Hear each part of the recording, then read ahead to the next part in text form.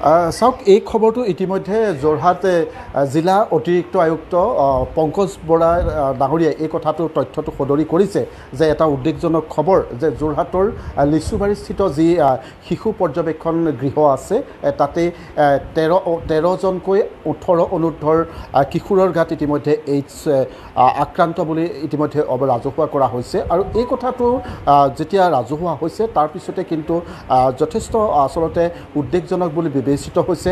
আৰু যিহেতু লিচুবাৰীস্থিত যি শিশু পৰ্যবেক্ষণ গৃহ এই গৃহটোত উজনিৰ ষোল্লখনকৈ জিলাৰ পৰা যিসমূহ আচলতে শিশু ইয়াতে লৈ অহা হয় সেই শিশুসকলৰ ভিতৰত বৰ্তমান সাতসত্তৰগৰাকী শিশু আছে বুলি অৱগত কৰিছে।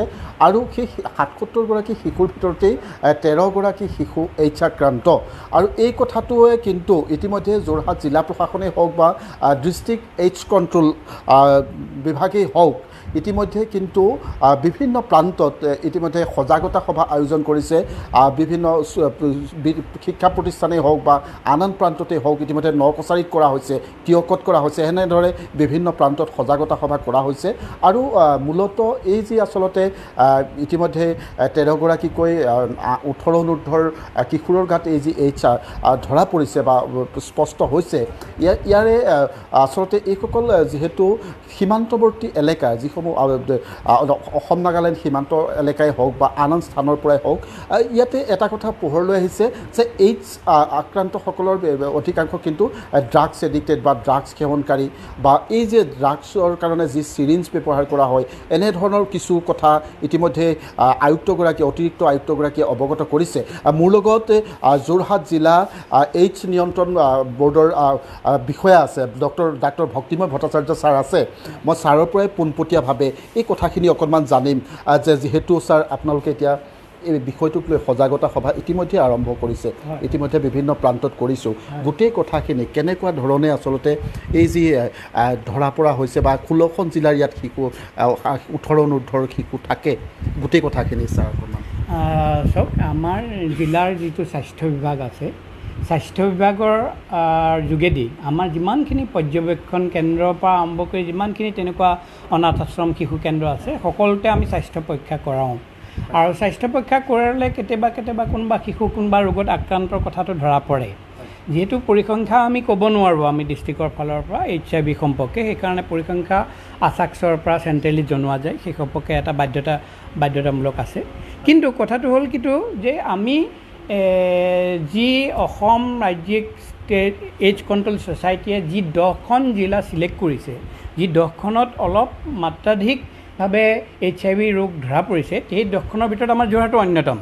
আৰু যোৰহাটতো আমি সেইকাৰণে এই আন্তঃৰাষ্ট্ৰীয় যুৱ মহোৎসৱৰ দিনত নকছাৰী কলেজত আমি খুব ধুনীয়াকৈ সৰ্বাংগ সুন্দৰভাৱে সকলো ল'ৰা ছোৱালীয়ে আত্মহাৰা হৈ নিজকে আনন্দ উৎসৱ কৰাৰ নিচিনাকৈ আমি এইচ আই ভি বিৰুদ্ধে ড্ৰাগছৰ বিৰুদ্ধে এটা ধুনীয়া এটা আলোচনা চক্ৰ আয়োজন কৰোঁ। ইয়াৰ পিছত আমি যোৰহাট জিলাত এশটা অঞ্চলত আমি কৰিম। ষাঠিদিনীয়া এটা প্ৰগ্ৰেম আছে। ষাঠিদিনীয়া প্ৰগ্ৰেমত এশটা অঞ্চলত। তাত আমাৰ টি গাৰ্ডেন থাকিব। তাত আমাৰ শ্লাম এৰিয়াবিলাক থাকিব। তাত আমাৰ ট্ৰাইবেল এৰিয়াবিলাক থাকিব। তাত আমাৰ বৰ্ডাৰ এৰিয়াবিলাক থাকিব। বৰ্ডাৰ এৰিয়াবিলাকত সাধাৰণতে ড্ৰাগছৰ ব্যৱসায়বিলাক বেছি হয় য'ত নেকি ইনজেক্টেবল ড্ৰাগ ইউজাৰসকল থাকে। সেই ইনজেক্টেবল ড্ৰাগ ইউজাৰবিলাক আমাৰ এটা নিৰ্দিষ্ট নিজস্ব এটা ডাটাও আছে যিবিলাক জেগাত পকেট কিছুমান আছে য'ত নেকি ডাটা থাকিব পাৰে বা হাই ৰিক্স ওমেন থাকিব পাৰে হাই ৰিক্স মেন থাকিব পাৰে। সেই এৰিয়াবিলাকক সজাগ সচেতন কৰিবৰ কাৰণে আমাৰ এই অভিযান আছে। এশখন হ'ব তাৰ ভিতৰত এই মুহূৰ্তত মই তিয়কত কৰি আহিছোঁ। এই মুহূৰ্তত আমাৰ তিয়কত সজাগতা সভা হৈছে। বাটৰনাথ হৈছে আমাৰ এখন ধুনীয়া সুসজ্জিত ভেন আমাৰ যাত যায় য'ত নেকি এল চি ডি প্ৰজেক্টৰ আছে। আই চি মেটেৰিয়েল আমি ডিষ্ট্ৰিবিউট কৰোঁ। আমাৰ লগত কেইবাটাও এন জি অ' আছে। এন জি অ'ই আমাক সহায় কৰিছে যি আচাক্সৰ পৰা তেওঁলোকে বন্দবস্ত কৰিছে। সকলো কাউন্সিলাৰ তিয়কৰ কাউন্সিলাৰ তিতাবৰৰ counsellor Jorhat I C T চিৰ কাউন্সিলাৰ দিলীপ দত্ত মুখ্য কৰি এ আৰ টি চেণ্টাৰৰ কাউন্সিলাৰ আৰু গাইনী ডিপাৰ্টমেণ্টৰ কাউন্সিলাৰ সকলোৱে গৈ ফিল্ডলৈ গৈ যাব। আমি যাতে অ' পি ডি কামত বাধা নোহোৱাকৈ আমি কামখিনি ৰুটিন কৰি লৈছোঁ সেইমতে আমি এইখিনি কাৰ্য শেষ কৰিম। ষাঠি দিনৰ ভিতৰত শেষ কৰিম। কিন্তু এইটো কথা ঠিক।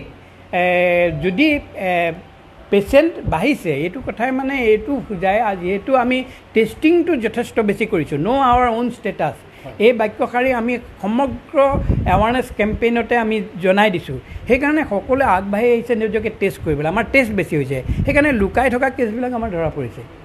সেইটো সেইটো আমাৰ কাৰণে আমি ছাকচেছ বুলি ভাবিছোঁ। যাতে আমি আৰু তেওঁলোকক কণ্ডমৰ পৰা আৰম্ভ কৰি বিভিন্ন ব্যৱস্থাবিলাক শিকাই দিছোঁ কাউন্সিলিং কৰিছোঁ এ আৰ টি চেণ্টাৰৰ লগত লিংক কৰাই দৰৱ যাতে সময়মতে খাইছে সেই সম্পৰ্কে আমি ব্যৱস্থা ল'ব যত্ন কৰিছোঁ। যাতে আমাৰ ভৱিষ্যতে এইচ আই ভি ৰোগটো বিয়পি নাযায় আৰু ইয়াতে আমি ৰাখিব পাৰোঁ। নিশ্চয়। ছাৰ আৰু এটা আপোনাৰ পৰা জানিব লাগিব। ইয়াতে যি আচলতে যিখিনি শিশু ইয়াৰ যি পৰ্যবেক্ষণ গৃহত ৰখা হয় সেইখিনি কোন কোন ডিষ্ট্ৰিক্টৰ ছাৰ ষোল্লখন জিলাৰ পৰাতো ইয়াতে ৰখা হয় বুলি জানিব পাৰিছোঁ। চাওক এই এই কথাটোত কেতিয়াবা দুজন থাকিব কেতিয়াবা তিনিজন থাকিব কেতিয়াবা পাঁচজন থাকিব কেতিয়াবা ছজন থাকিব। সংখ্যাটো ডাঙৰ কথা নহয়। এই আপুনি কোৱা কথাটো ডাঙৰ কথা যে ষোল্লখন ডিষ্ট্ৰিক্টৰ পৰা আহে। ধৰক মই এটা এক্সাম্পল দিলোঁ। এখন কোনোবা এখন জেলত যেতিয়া কয়দী এজনৰ দেখিলে যে তেখেত প্ৰাপ্তবয়স্ক নহয় ওঠৰ বছৰ তলৰ সোতৰ বছৰ। কিন্তু তেখেত ড্ৰাগ ইউজাৰ আৰু ড্ৰাগ ইউজাৰ কাৰণে তেখেতে এ আৰ টি ট্ৰিটমেণ্টত আছে। তেখেতৰ এইচ আই ভি ৰোগত আক্ৰান্ত হৈ আছে আৰু তেখেতৰ এণ্টি ৰেট্ৰিভাইল ট্ৰিটমেণ্ট অলৰেডি কৈ আছে। তেখেতক আনি পেলাই আমাৰ পৰ্যবেক্ষণ বেন কেন্দ্ৰত ৰখা হয় তেখেতক বুজা যায় আমাক মাতে মাতিলে আমি কাউন্সিলিং দিওঁ মাতিলে আমি তেওঁলোকক গৈ পেলাই সহায় কৰি দিওঁ মাতিলে আমি তেওঁলোকক স্বাস্থ্য পৰীক্ষা কৰি দিওঁ। আৰু কৰি দিলে হয়তো কেতিয়াবা কোনোবা এজন মানুহ ধৰা পৰিছে বা কোনোবা এজন মানুহ আগতে ধৰা পৰা মানুহক যদি দৰৱ খাই থকা নাই আমি এ আৰ টিৰ লগত লিংক কৰি পেলাই দৰৱ খাবলৈ আমি ব্যৱস্থা কৰি দিছোঁ। এইটো কথা নহয় যে যোৰহাট পৰ্যবেক্ষণ কেন্দ্ৰত বহুত ধৰা পৰিছে। এইটো ষোল্লখন ডিষ্ট্ৰিক্টৰ বিভিন্ন ডিষ্ট্ৰিক্টৰ ড্ৰাগ এডিক্ট কোনোবা হয়তো শিশু সোতৰ ষোল্ল সোতৰ বছৰীয়া শিশু যিসকল মাৰ্জিনেল হয় তেনেকুৱা শিশু দুই এজন হয়তো কেতিয়াবা আহে। ছাৰ শেষৰটোৰ পৰা আৰু এটা কথা জানিম। যে যিহেতু ড্ৰাগছ এইচ আই ভি সংক্ৰমণ মূলতঃ মানে ড্ৰাগছৰ আচলতে সেৱনক বিষয়টোৱে বেছি সংখ্যা বৃদ্ধি হৈছে নেকি? এই গোটেই যিটো আপুনি এইটো খুব ভাল প্ৰশ্ন কৰিছে আৰু মোৰ বৰ ভাল লাগিছে আৰু এইটো ক্ষেত্ৰত মই যোৰহাটৰ ডিষ্ট্ৰিক্ট প্ৰশাসন বিশেষকৈ আমাৰ উপায়ুক্ত মহোদয় আৰু এছ পি মহোদয় অতিৰিক্ত উপায়ুক্ত মহোদয়ক ধন্যবাদ জ্ঞাপন কৰিব খুজিছোঁ। ড্ৰাগছৰ বিৰুদ্ধে যি এটা আমাৰ এটা কাৰ্যসূচী গৈছে এনকৰ্ডৰ ময়ো এজন মেম্বাৰ ডিষ্ট্ৰিক্ট কমিটিখনৰ আমাৰ ড্ৰাগছৰ প্ৰথমতে ছাপ্লাই চেইনটো আমি ৰোধ কৰিবলৈ যত্ন কৰিছোঁ আৰু কনজিউমাৰখিনিক ৰোধ কৰিব কনজিউমাৰ কমিবৰ কাৰণে কনজামশ্যন কমিবৰ কাৰণে আমি এৱাৰনেছ এক্টিভিটিবিলাক কৰিছোঁ। সেইকাৰণে আমি ডেফিনেটলি একেটা চিৰিঞ্জ যদি কেইবাজনৰ ড্ৰাগ আসক্তই ব্যৱহাৰ কৰি থাকে তেতিয়াহ'লে সেইটোৱে এজন যদি ৰোগী এইচ আই ভি আক্ৰান্ত হয় বাকী কেইজনো ৰোগী আক্ৰান্ত হৈ যাব। এই মেছেজটো আমি সম্পূৰ্ণৰূপে দিবলৈ যত্ন কৰিছোঁ আৰু যোৰহাটত পাঁচ ছটা তেনেকুৱা ৰিহেব চেণ্টাৰো আছে।